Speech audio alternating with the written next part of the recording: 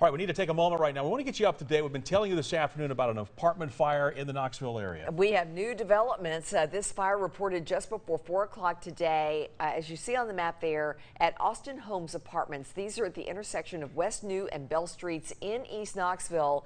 We mentioned they thought one person was inside. Right. Turns out, yes, indeed, they were and uh, they have been rescued and taken to the hospital suffering from smoke inhalation. We do want to check in with our crews in the field right now. Kirsty Crawford is there. So, Kirsty, get us up to date on what's going on, what fire crews are doing right now as well.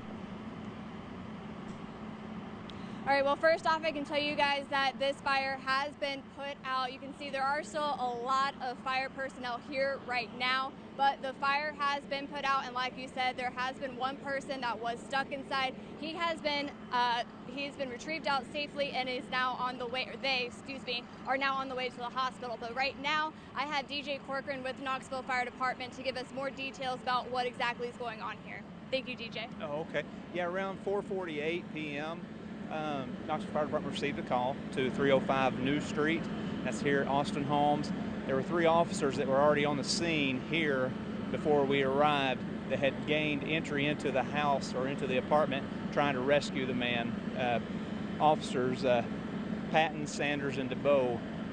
And Patton and DeBow are at UT Hospital being checked out for smoke inhalation. There's one victim inside that the fire department once we got here with the air packs and our, our personal protective equipment were able to gain entry safely inside the apartment and found the victim and pulled him out in the yard where medics began working on him.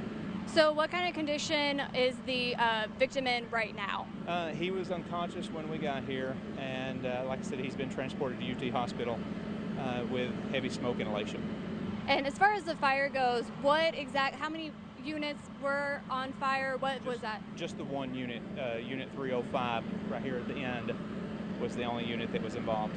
And we know that it's only the one victim and the uh, two uh, Knoxville author, officers that are going to the hospital right now? Correct, yeah. One transported emergency traffic, and the two officers are driving their vehicles over to just to get checked out. All right, so what are firefighters doing right now? Are they starting? mopping up right now. Yeah, they've got the fire under control. It's out. Uh, we got the person, the victim, sent to the hospital, and right now we're just cleaning up after afterwards. All right. Well, thank you so much, DJ. We really appreciate it. And we will continue to uh, monitor this situation and find out if there are any more details after this and also check in with the officers and that victim throughout the night. But for now, reporting live in Knoxville, Kirsty Crawford, WATE 6 on your side. All right, Kirsty, thank you so much. We certainly hope everybody's yeah. going to be okay, and, and, we'll continue to monitor this for a cause. Sure, yeah, I actually wanted to see what's kind of what's behind it, but it's nice yeah. to hear that the two officers that were going to the hospital actually drove themselves, so that's encouraging for them. That's a very good and, sign. And hopefully the one individual said that apartment sounds like they're going to be okay too, but we obviously need to be checked out. Yeah. yeah.